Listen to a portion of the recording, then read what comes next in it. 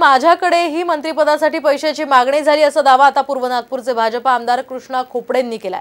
यंदा मात्र आता मंत्रिपदाच्या बदल्यात पैशांची मागणी करणाऱ्या नीरज सिंग राठोडचा फोन न येता दिल्लीतून शर्मा नावाच्या व्यक्तीचा फोन आल्याचं त्यांचं म्हणणं आहे. दरम्यान महत्वाचं म्हणजे भाजपचे राष्ट्रीय अध्यक्ष जे पी नड्डांचा आवाज काढून पैसे मागितल्याचाही आरोप आमदार खोपडे यांनी केलाय.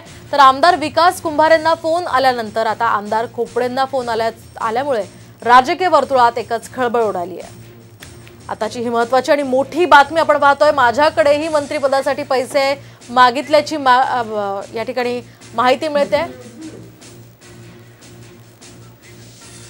जेव्हा सहा सात महिन्या अगोदर चर्चा सुरू होती त्यावेळेस शर्मा नावाच्या एका व्यक्तीने दिल्लीवरून मला फोन केला. त्यांनी सांगितलं का मी दिल्लीवरून बोलतो माझं नाव शर्मा आहे. आणि मी जे पी नड्डा साहेबाच्या राईट हँड आहे. जे पी नड्डा साहेबाचे मी पॉलिटिकल सगळे कामं पाहत आहो आणि म्हणून जे पी नड्डा साहेबांनी तुमचं नाव फायनल केलं कॅ कॅबिनेटमध्ये आणि फर्स्ट प्रायोरिटीमध्ये तुमचं नाव आहे. मी त्याच्या बोलण्याकडे सतत दुर्लक्ष केलं.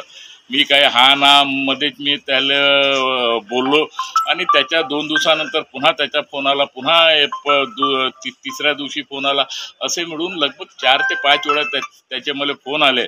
आणि तो सतत मला हे सांगत गेला का तुम अभी तुम्हारा नाम अभी फायनल हो गया है तुम अभी कॅबिनेट में आने वाले हो.